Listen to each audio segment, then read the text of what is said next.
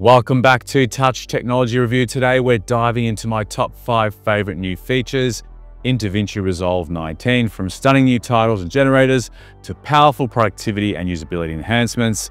There's a lot to love in this update. If you haven't updated yet, make sure you're running version 19.1.2 or above.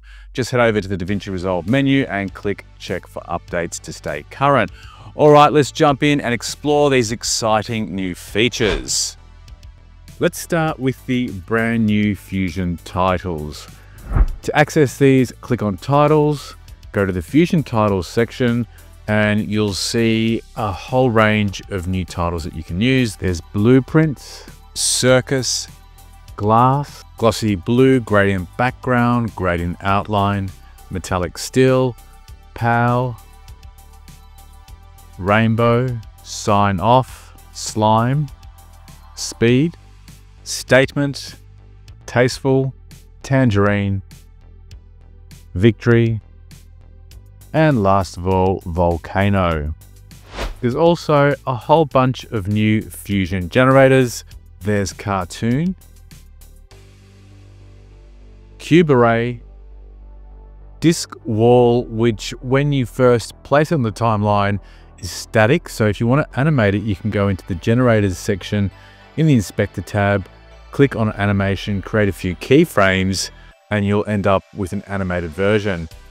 Gradient lines is already animated, hexagon glow, honeycomb, radial lines, squares, and stage curtains, which is probably the most impressive of all, which actually has an alpha layer. So if you place a video clip underneath it, it will appear as though stage curtains are literally opening over the top of your video. And finally, there's Starfield.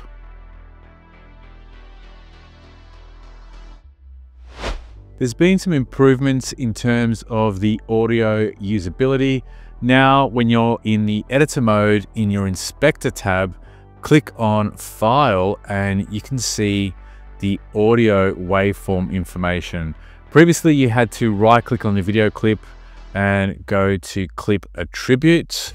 Now right within the inspector tab in the file tab you can go in and find the exact same information. If you click on it you can remap your audio channels from stereo to mono which is useful particularly if you're recording voiceovers. If you click on the Mixer tab in the inspector, you now get access directly to the EQ, which previously you had to go into the Fairlight tab.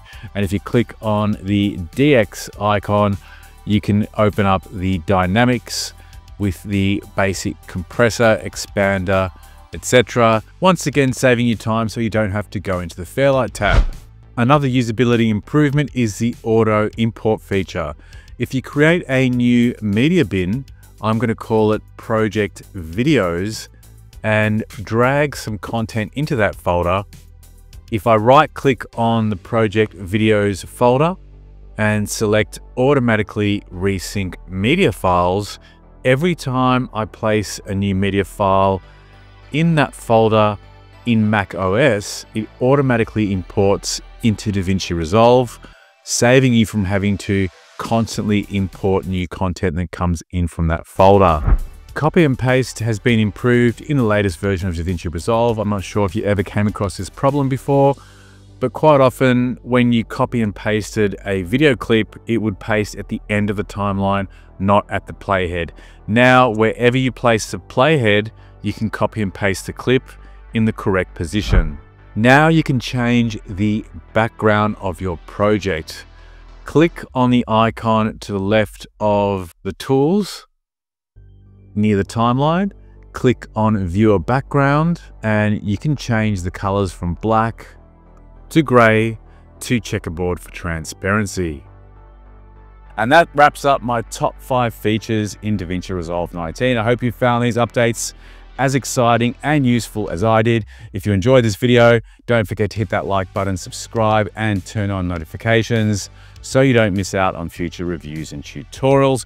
Drop a comment below and let me know which feature you are most excited about or if there's something else you'd like me to cover on the channel. Thanks for watching.